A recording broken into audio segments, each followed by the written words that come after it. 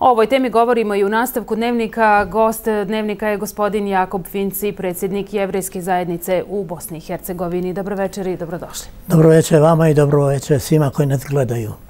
Gospodine Finci, evo deset je godina od e, presude, manjine su i dalje diskriminirane u Ustavu u Bosne i Hercegovine. Mislite li e, da će e, presuda Europskog suda za ljudska prava jednom konačno ili biti implementirana, a ona nije jedina? Što još treba da se desi da manjine ne budu diskriminirane? Presuda će sigurno biti implementirana. Ovo je, da tako kažem, prvih deset godina što čekamo. Nadam se da neću biti na ovom istom mjestu da obilježimo i 20 godina od kako nismo implementirali. Jer neimplementiranje ove odluke znači ne ulazak Bosne i Hercegovine u vijeće u Evropsku uniju, čak i nedobijanje kandidatskog statusa. Naime, mi smo 2002. kada smo ušli u vijeće Evrope, potpisali da ćemo prihvatati sve odluke suda u Strasburu koje se tiču Bosne i Hercegovine, da ćemo iste implementirati. Kad je ova odluka donesena 2009. kao što ste rekli, e, jednostavno smo se vrlo brzo približili izborima 2010. Pa je onda rečeno, hajde da odgodimo tri mjeseca implementaciju da bi mogli da imamo izbore, jer je e, opšta praksa u svijetu da se šest mjeseci prije izbora ne mijenjaju izborni propisi. I tako smo mi poslije izbora imali pauzu od ne 14 mjeseci kao sada, nego čak 16 mjeseci dok se formirala vlada, tako da smo dosta vremena potrošili čekajući vladu koja će predložiti izmjene ustava, odnosno taj ustavni amandman koji je u principu vrlo jednostavan, promijeni se jedna rečenica u ustavu i to je gotovo. Ja sam tada predlagao da se odmah promijeni ustav, da se ta rečenica koja kaže bira se jedan Srbin iz Republike Srpske, odnosno jedan Bošnjak, jedan Hrvat iz Federacije, da se zamijeni rečenicom bira se jedan član predsjedništva iz Republike Srpske, a dva iz Federacije, od čega više od jednoga ne mogu biti iz reda istog konstitutivnog naroda ili reda ostalih, a da nakon toga u narednih godinu, dvije, tri, do sljedećih izbora, dok im, se, dok im dođe vreme, da jednostavno promijenimo i sam izborni zakon.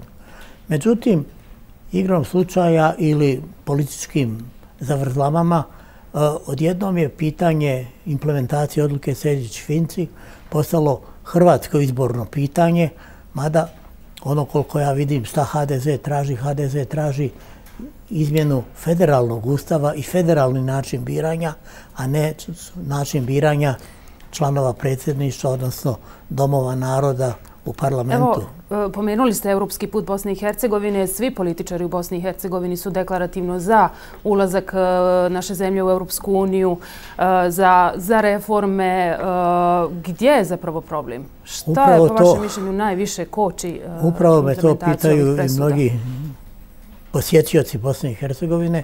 Uvijek pitaju ko je glavna prepreka, ko je taj koji je protiv toga.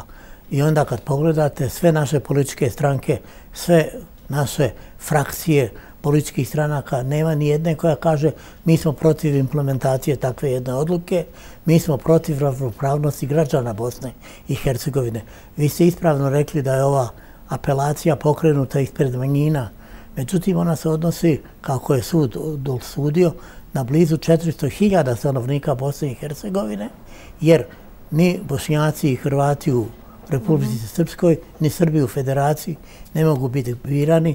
Prema tome ne radi se samo od nekoliko desetaka hiljada pripadnika nacionalnih manjina, nego blizu 40.000, 400.000 građana Bosne i Hercegovine, što je ipak 10% stanovništva i što je jako, jako velika diskriminacija. I normalno je da zbog toga Evropska unija par godina s nama nije uopšte ni pregovarala, ni radila nismo se podsjećivali, upravo zbog toga što nismo to implementirali, a svaki sastanak sa Evropskom unijom, jer je jedno vreme se i ona umiješala u implementaciju ovoga, Pominje se upravo, upravo sa, problematika. sa komisarom Fileom, da pomogne, je bila, evo sljedeći put, napredovali smo, vjerujemo da smo na sljedećem sastanku to riješiti, tih sastanaka je bilo bezbroj, ali nismo se mrdnuli sa mrtve tačke. Evo, ističe nam vrijeme za, za ovaj razgovor. Samo ću vas kratko pitati za kraj. Evo, sutra konačno dobijemo novu, novi saziv vijeća ministara od blokirane jeli, e, procesi uspostave vlasti i rada nove vlasti. Očekujete li e, promjene?